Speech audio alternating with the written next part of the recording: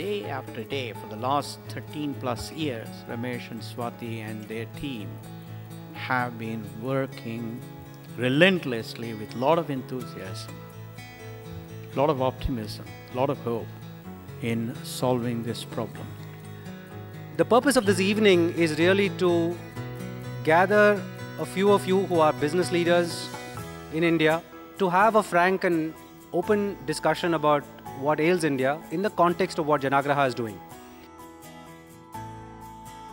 The challenge for the country is uh, how do you go uh, from uh, a system that is providing urban services to, let us say, 180 million people uh, to servicing 600 million uh, in a period of 20 years.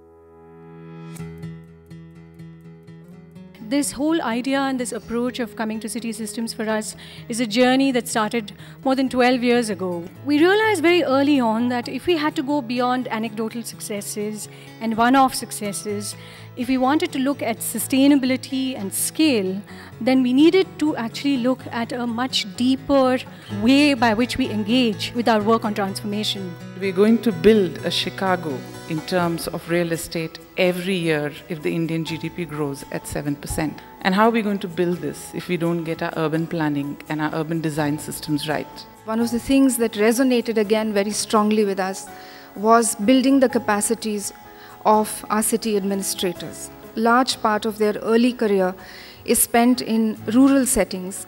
And then as they become more senior and come to urban India, they're actually lost. You can imagine how inaccurate and how, in some ways, unresponsive our political system is if we are getting margins of victories of 5 or 10% when we have spurious, dubious voters that may be 20, 30, 40%. So, transparency is clearly critical.